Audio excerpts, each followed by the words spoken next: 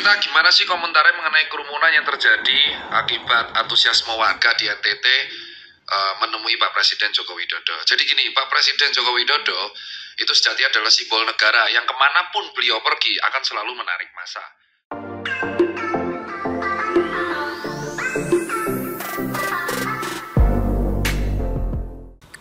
Assalamualaikum warahmatullahi wabarakatuh. Jumpa lagi dengan Enjoy Channel Channel yang membahas berita teraktual, terhangat, dan sedang menjadi perbincangan publik.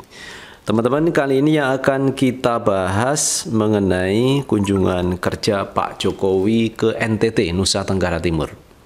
Nah, menariknya teman-teman, ketika kunjungan Pak Jokowi Ketika Pak Jokowi ini di tengah jalan sedang memakai mobil Ini banyak orang yang merapat ingin berjabat tangan, ingin mendekat, ingin melihat Pak Jokowi. Dan di situlah ini diduga melanggar protokol kesehatan karena mereka berkerumun. Padahal kasus kerumunan ini ini kasusnya sudah ada teman-teman. Ketika Habib Rizik kemarin ini mengadakan kegiatan di Petamburan, kemudian di Megamendung ini menjadi tersangka kasus kerumunan. Jadi banyak orang berkumpul tidak mengindahkan protokol kesehatan. Nah, bagaimana sekarang dengan Pak Jokowi yang datang ke NTT kemudian disambut oleh banyak orang yang ingin mendekat kepadanya? Berarti ini masuk dalam kategori kerumunan. Bagaimana kalau ini dilakukan oleh kepala negara? Kemarin teman-teman ada pernyataan dari pihak istana bahwa mereka datang itu secara spontan dan tidak diundang. Nah, kalau alasannya seperti itu, kemarin juga ketika Habib datang Eh, ke Bandara Soekarno Hatta ketika pulang ini juga disambut oleh ribuan orang dan mereka juga tidak diundang. Nah, bagaimana melihat seperti ini teman-teman? Karena itu tantangan tersendiri bagi Kapolri menyikapi hal ini. Nah, teman-teman, untuk lebih jelasnya kita akan lihat beritanya dari Kumparan News. Anggota DPR asal NTT komentari kerumunan Jokowi teringat Habib Rizik. Nah, ini teman-teman, anggota DPR asal NTT ini mengomentari, melihat potret yang dilakukan Pak Jokowi kemarin ketika datang ke NTT. Potret Presiden Jokowi disambut lautan masyarakat dalam kunjungan kerja di Maumere NTT saat pandemi COVID-19. Menuai sorotan, Jokowi menyapa masyarakat dari mobilnya dan membagikan souvenir. Jadi di dalam mobil itu Pak Jokowi ini memberikan souvenir. Tentu ketika banyak orang yang ada di situ, ketika dibagikan souvenir tentu akan berebutan ingin mendapatkan souvenir dari Pak Jokowi. Nah, ini berarti mengundang orang untuk datang, orang untuk berkerumun.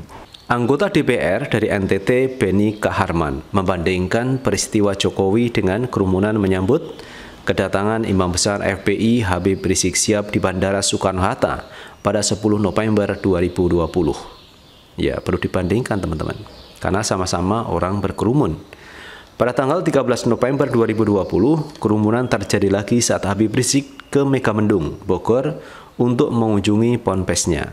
Akibat peristiwa di Megamendung itulah Habib Rizik jadi tersangka.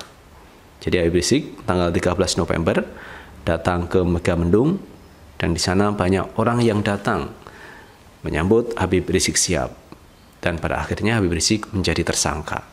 Habib Rizik ditetapkan sebagai tersangka kasus kerumunan di kediamannya di Petamburan, Jakarta Barat. Diakini dibui di rutan Baris Krim. Teringat saya dengan masyarakat sambut Habib Rizik di Bandara Soekarno-Hatta saat pulang dari luar negeri. Seolah tidak percaya bahaya COVID-19. Monitor. Ucap Beni melalui Twitter Rabu 24 Februari 2021. Ini kita lihat teman-teman gambar dari Habib Rizik. Ini memakai mobil kemudian terbuka mobilnya dan beliau memberikan arahan kepada masyarakat yang datang menjemput Habib Rizik siap. Tetapi pada waktu itu Habib Rizik tidak membagikan souvenir atau tidak membagikan hadiah. Itu pun masyarakat datang cukup banyak, cukup besar. Dan kalau kita lihat teman-teman ini tidak mengindahkan protokol kesehatan. Kemudian kita juga lihat di bawah ini teman-teman, Habib Rizik ini berjalan pakai mobil bak terbuka ini. Dan disambut kanan kiri oleh ribuan orang yang menjemput Habib Rizik. Politikus Demokrat bergelar doktor hukum UI ini menyindir fenomena kerumunan Jokowi sebagai aksi masyarakat yang rela terpapar COVID-19. Luar biasa rakyat Maumere Flores sambut Presiden Jokowi. Mereka tumbah ruah ke jalan.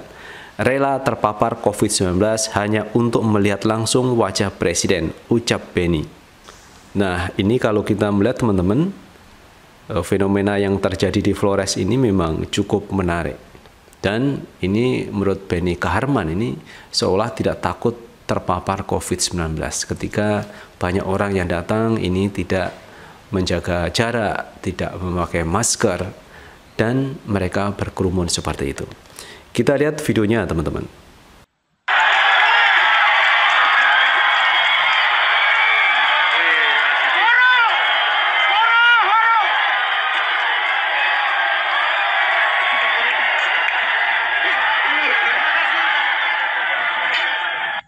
Nah, itu teman-teman terkait kunjungan Pak Jokowi di NTT ternyata disambut oleh banyak orang yang di situ tidak memindahkan protokol kesehatan.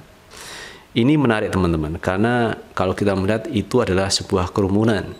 Kerumunan menurut istilah dalam bahasa itu adalah berkumpulnya beberapa orang atau banyak orang yang sifatnya sementara dan tidak beraturan. Ya, seperti itu. Ini tidak beraturan. Itulah yang disebut dengan kerumunan. Kemudian teman-teman bagaimana pendapat istana mengenai hal ini terkait kerumunan dan ini menjadi sorotan publik teman-teman. Karena sebagai kepala negara tentu harus memberikan contoh bagaimana masyarakat ini tidak melakukan kerumunan. Tetapi yang terjadi kunjungan Presiden Jokowi ke NTT ini jelas merupakan bentuk kerumunan dari masyarakat. Kita lihat teman-teman tanggapan dari istana.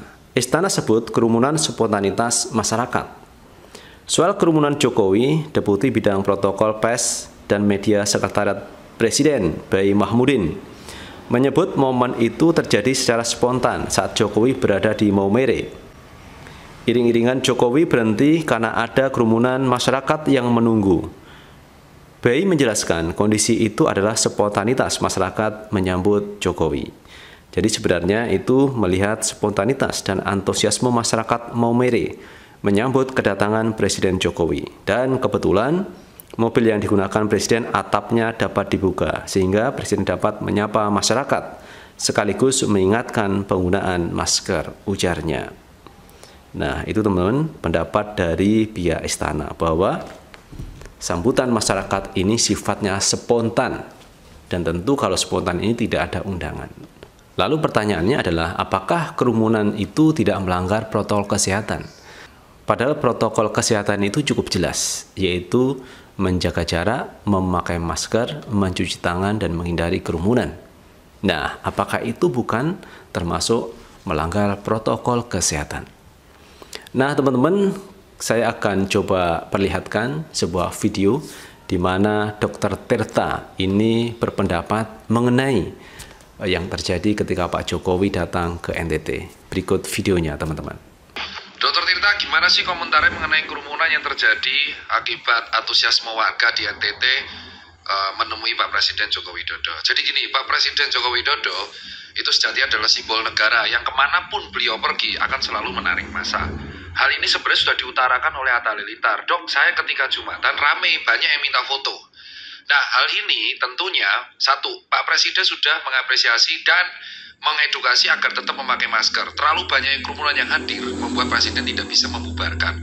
Bahkan di salah satu video, sedan beliau sampai dikerumuni orang banyak.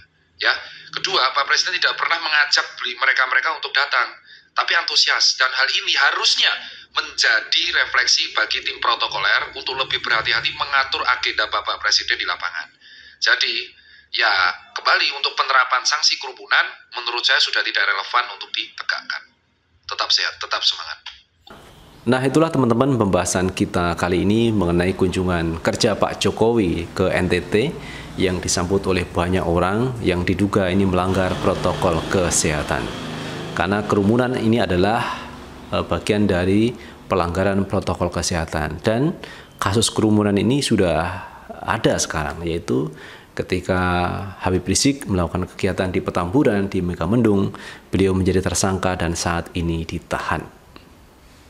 Nah, itulah teman-teman perbandingan antara kegiatan Pak Jokowi dengan kegiatan Habib Rizik yang mana kalau Habib Rizik ini ditahan dan menjadi tersangka kasus uh, kerumunan. Dan bagaimana menurut pendapat teman-teman? Silahkan tulis di kolom komentar karena komentar teman-teman akan sangat bermanfaat untuk yang lain. Dan terakhir, jangan lupa tetap like, subscribe, share, dan komen di channel ini agar kita bisa membangun channel ini menjadi lebih baik lagi. Sukses selalu. Assalamualaikum warahmatullahi wabarakatuh.